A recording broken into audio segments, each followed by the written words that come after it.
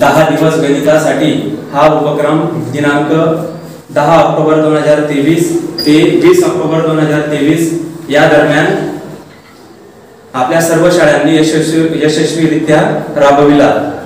तर आमची शाळा जिल्हा परिषद उच्च प्रा प्राथमिक शाळा मुळ्याउतार तालुका चोपडा आमच्या शाळेने देखील हा उपक्रम दहा दिवसांच्या यशस्वीरित्या आम्ही कृती आणि गणितीय खेळांच्या साह्याने राबविला.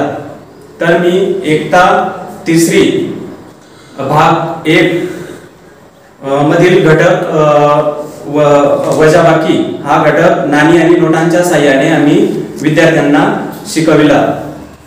तर त्यासाठी अगोदर मी विद्यार्थ्यांना पूर्वज्ञानावर आधारित प्रश्न विचारले. विद्यार्थ्यांना मी प्रश्न असा केला की तुम्ही जेव्हा बाजारात जाता तुमच्या वडिलांसोबत किंवा तुमच्या बाबांसोबत तेव्हा तुम्ही विद्या दुकानदारासकडून व- वस्तू घेतल्यानंतर तुम्ही दुकानदाराला काय देता? तर त्यावेळेस विद्यार्थ्यांनी रिस्पॉन्स दिला त्यांच्या पूर्वानुभवानुसार. नंतर दुसरा प्रश्न मी पूर्व ज्ञानावर आधारित विचारला त्यांना की तुम्हाला नाणी व नोटा कोणकोणत्या असतात तर त्यांनी त्यांच्या पूर्व ज्ञानावर आधारित त्यांनी आम्हाला उत्तर दिलं. दहा रुपये. आपण ह्या नाणी आणि नोटांचा उपयोग कुठं करतो? तर त्यांनी उत्तर दिलं आम्हाला आम्ही भाजीपाला घेताना किंवा वही पेन दुकानात घेताना त्या ठिकाणी आम्ही या नाणी आणि नोटांचा उपयोग करतो. तर नंतर मग पूर्वज्ञान झाल्यानंतर मी त्यांना नाणी आणि नोटांची सुरुवातीला ओळख केली. मग त्यांना मी सांगितलं की आपल्याला जर दुकानदाराला दहा रुपये द्यायचे असतील तर दहा रुपये देत असताना आपल्याला एक रुपयाचे आपल्याला एक एक नोट म्हणजे असे दहा नोट आपल्याला त्यांना द्यावे लागतात.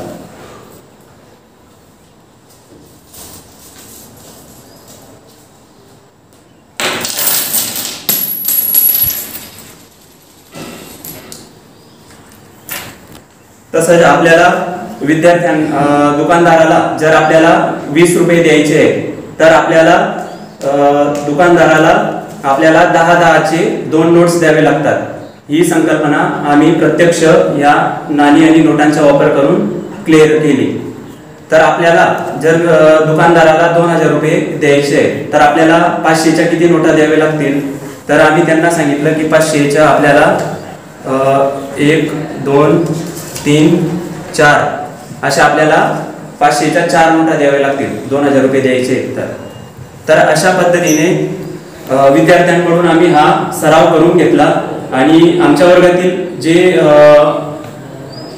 हुशार मुलं आहेत ज्यांना ही कन्सेप्ट क्लिअर आहे तर त्यांच्या मार्फत आम्ही अधिकचा सराव करून घेतला. कारण ते त्यांच्या भाषेत पट म्हणजे लवकर समजतात.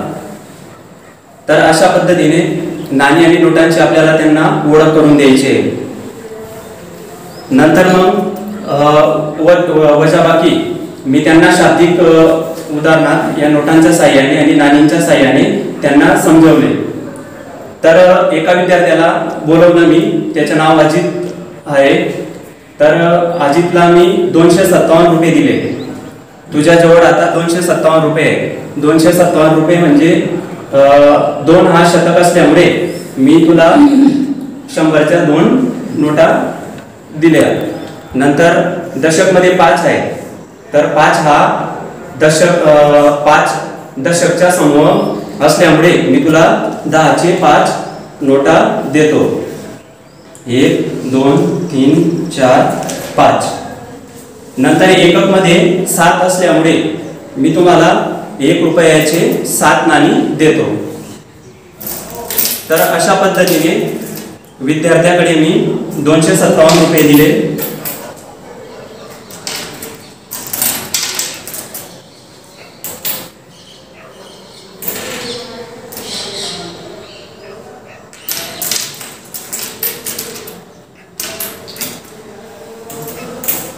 तर आता विद्यार्थी अजितकडे दोनशे सत्तावन्न रुपये आहेत. अजितने आमच्या शाळेत एक मनोज नावाचा विद्यार्थी आहे. तर अजितने मनोजला एकशे पन्नास रुपये दिले. तर आता अजितकडे किती रुपये उरले? तर मग त्यांना एकशे पन्नास रुपये देण्यासाठी एक हा एकशे पन्नास रुपयामध्ये एक हा शतक असल्यामुळे त्याने मनोजला शंभरची एक नोट दिली. नंतर दशकमध्ये पाच असल्यामुळे अजितने मनोजला दशकच्या पाच नोटा दिल्या म्हणजे दहा रुपयांच्या पाच नोटा दिल्या. एक दोन तीन चार पाच. नंतर एककमध्ये शून्य असल्यामुळे त्याने एकही नाणं दिलं नाही किंवा एकही एक रुपयाची नोट पण दिली नाही कारण शून्य आहे.